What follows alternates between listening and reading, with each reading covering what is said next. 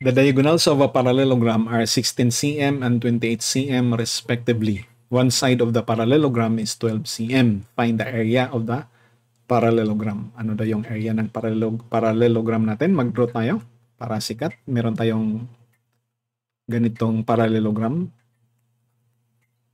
Two opposite sides are parallel. Yun yun. Okay. Tapos given ang mga diagonals nito, pasensya na sa aking paulit-ulit na pag-drawing. okay.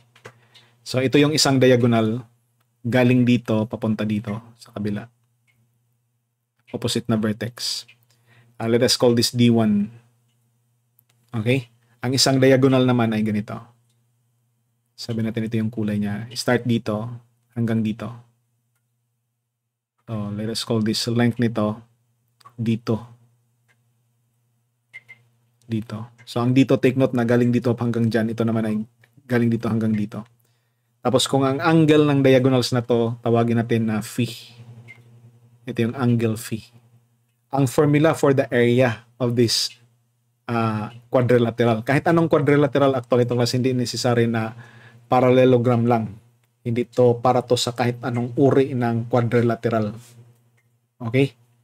Hindi lang to nagtatapos sa tawag dito sa parallelogram. Ang formula actually ng area ng quadrilateral given yung kanilang mga diagonals tapos yung angle between the diagonals ay given by this formula ang area.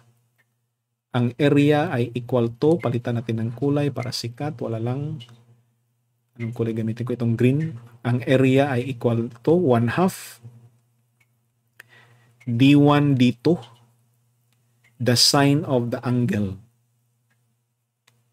Uh, take note na sa ating problem, given itong D1 at saka dito, mag-redraw ako dito class. So, mag-draw ako ng panibagong quadrila, uh, parallelogram. I think i-generalize natin to no.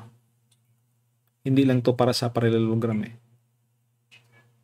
Uh, generalize natin tong ating formula para mag-reflect talaga na kahit anong uri ng quadrilateral. Sabi natin ang quadrilateral natin ay ganito. Okay? Bali, ito yung ating diagonals. Diagonal 1. Ito naman yung pangalawang diagonal. Diagonal 2.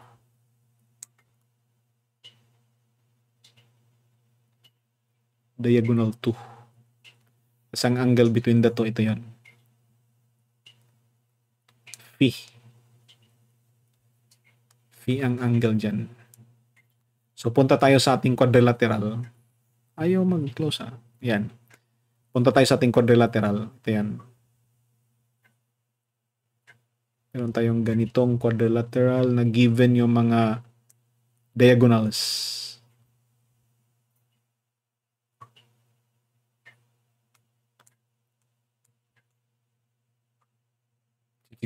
Yung drawing. Kakatagal. Pero sige lang para ramdam nyo class yung mga gagawin talaga pag solve ng problem. Okay? So ang unang diagonal natin ay ito yung unang diagonal natin.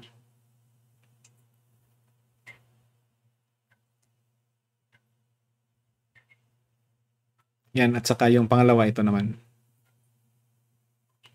Uh, gawin kong white. Now, dahil uh, parallelogram to class, mag-intersect sila sa gitna talaga.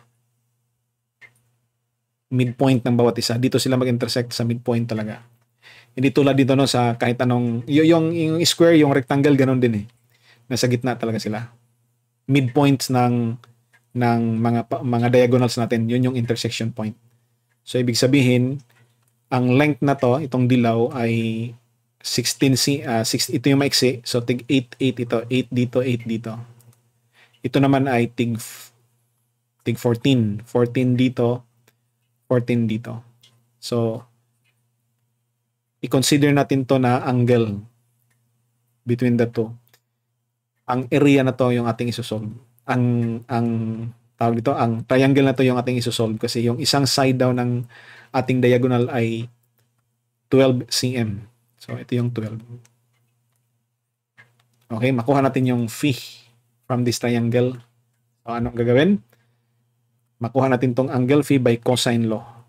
By cosine law. Kasi ito yung isalpak natin dito mamaya. Alright. We have this cosine law, the cosine of theta or cosine of phi or hidandahanin natin.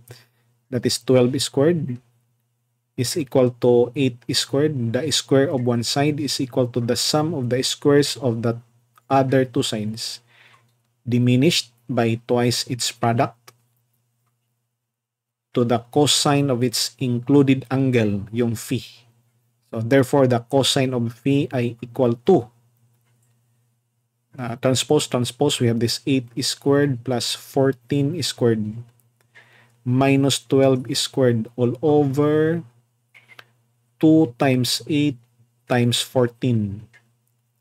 Ito yung ating angle phi. Eh, calculator tayo. Dapat naka-degree mode tayo sa ating calculator.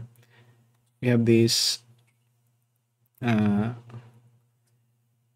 8 squared uh, shift cosine. Shift cosine of fraction 8 squared plus 14 squared minus 12 squared.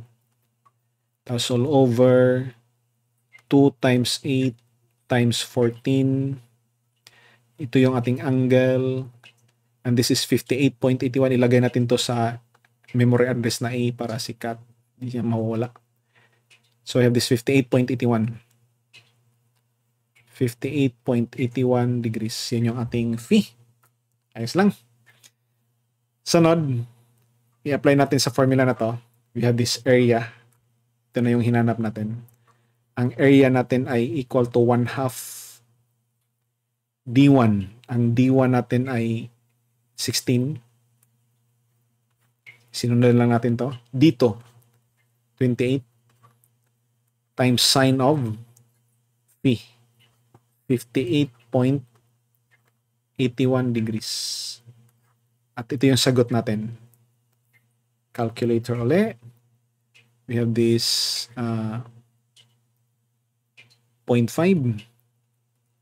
0.5 times 16 times 28 times sine of ang ating angle na sa memory address na inilagay natin kanina. That is the answer. 191.62 square cm. Letter A yung sagot. Okay? 191.62.